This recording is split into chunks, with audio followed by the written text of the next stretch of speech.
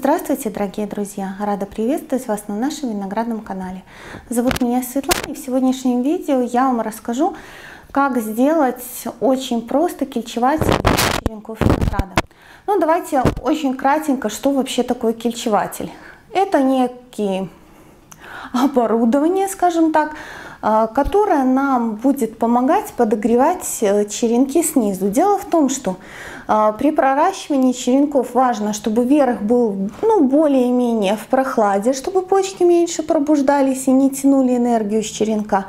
А для лучшего образования корешков хорошо было бы, чтобы снизу было несколько теплее.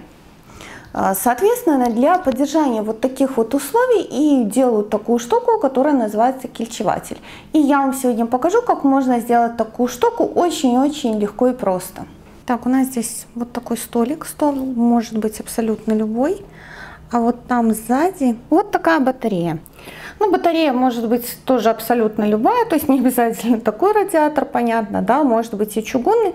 А, любая батарея, которая вот э, немножечко выходит наружу, то есть не, не вмонтирована в стену.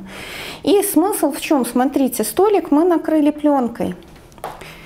И там тоже пленка заходит на радиатор. Соответственно, тепло все поднимается вверх и концентрируется вот на этой доске. Поэтому получается у нас здесь немножечко подогрев, а сверху уже температура воздуха, скажем так, при том, что вот здесь у нас э, окошко, соответственно, от окошка тоже может идти немножко прохлада, если необходимо, его можно приоткрывать и таким образом немножечко влиять на эту самую температуру. И здесь пленка идет э, до самого пола, закрыта точно так же сбоку, для того, чтобы максимально концентрировать вот это самое тепло, которое идет от батареи. Еще один момент. На наших батареях, да в принципе на большинстве современных батарей есть регуляторы, поэтому мы можем еще и управлять тем теплом, которое поступает к корням наших растений. Ну вот, собственно, наш э, столик в действии. Уже стоят черенки. Смотрим разницу температур внизу 26 и на почке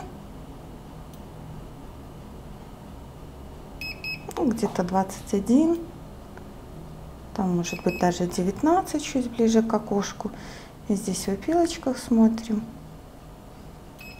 В районе 25-26 и на почке в районе 20 то есть основная задача которая была перед нами поставлена это создать разность температур на корнях и на почках мы ее выполнили. Э, температура внизу не выше 30 градусов, но вверху, скажем так, чем ниже, тем лучше, ну, по, по возможности. Вот такая разница температуры в районе 50 градусов э, будет способствовать тому, что корни будут развиваться раньше, чем пробуждаться почки. Но если вам не хочется ничего сооружать, то еще как альтернатива это вот такие электрогрелки. Купить их можно в большинстве магазинах, в аптеках. Кроме того, на китайском рынке сейчас э, большое количество различных нагревательных элементов, которые прекрасно подойдут для этих целей, причем по очень доступной цене. На сегодня это все, что я хотела вам показать рассказать. Но помним, что приступать к укоренению черенков мы будем только ближе к концу февраля, а то и к началу марта. Связано это с тем, что сейчас еще слишком короткий световой день. Если мы хотим, чтобы наш э, молодой саженец развивался правильно, нам надо будет его подсвечивать, иначе ну, он будет слабенький, что нам абсолютно невыгодно. Поэтому концу февраля обязательно будет видео по укоренению черенков. Там я расскажу, какой способ укоренения черенков будет наиболее оптимален. Расскажу все подробности, все нюансы. Но на этом я с вами прощаюсь. Подписывайтесь, ставьте лайки, в комментариях пишите свое мнение и задавайте вопросы. И под видео, нажав кнопку «Еще», будет ссылка на каталог наших сортов винограда и мои контакты. До новых встреч, пока!